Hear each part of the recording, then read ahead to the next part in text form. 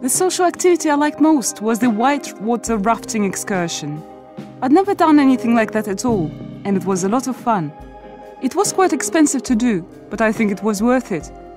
We had to pay for the guide and hire of the wetsuits and everything like that. But the feeling of being swept along by the current of the water was a bit like being on a roller coaster.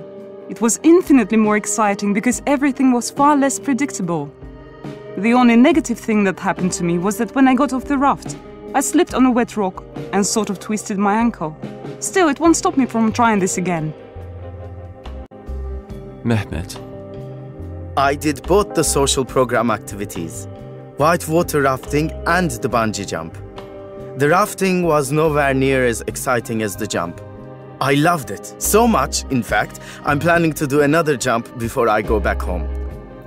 For me, there was one thing I found a bit strange about these activities. When we went to the river and to the jump site, we were just picked up by a minivan driver. There was no one from the social program who came with us. I mean, we had a good enough time just with ourselves, but it was a bit odd that no one from the committee was there. Not very friendly, I thought. Paolo. Actually, I didn't do either of the sports activities.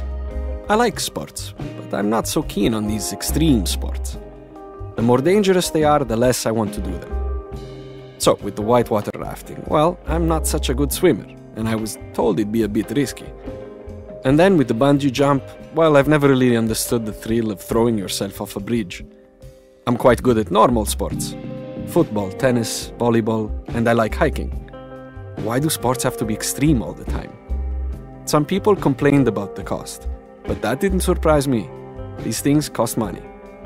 I don't mind paying, it's just it needs to be something I really want to do. Chang Ying. For me, the highlight of the year was doing the bungee jump.